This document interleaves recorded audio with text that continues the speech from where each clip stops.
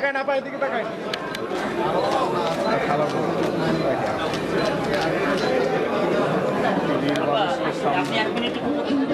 সংগঠন আমাদের শিক্ষামন্ত্রী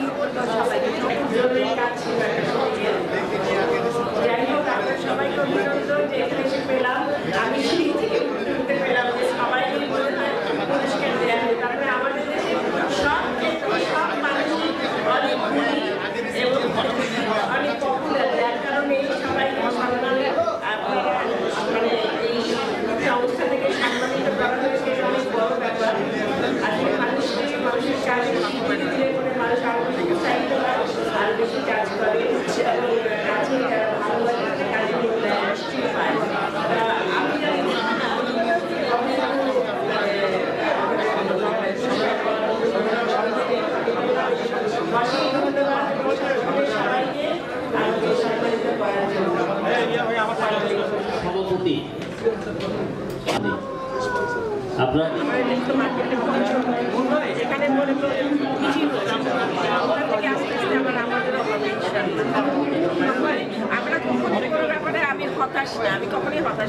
আগে আমরা তাকে স্বাগত আমি সব- আমি সব বিশ্বাস করি যে আগামী দিন ভালো হবে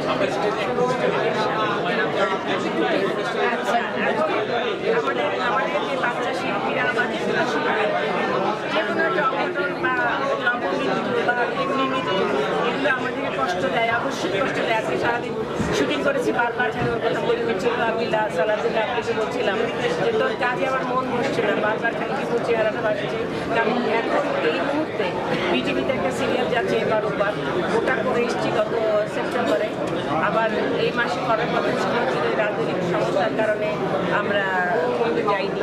পনেরো তারিখের পরে আমার যাওয়ার কথা ছিল। হিমু ছিল ওই নাটকে আমার ছেলে। নিয়ে তো কাজে খুব ফিল করছি যে গেলে এবার আর ওকে পাবো না হয়তো খারাপ লাগবে চঞ্চল ছিল মানে ফ্যামিলিয়ার টাইপের একটা শিল্পী বা মেয়ে ছিল বাচ্চাদের আসলে কষ্ট ছিল, মা ছিল না, বাবা ছিল না, একা একা জীবন।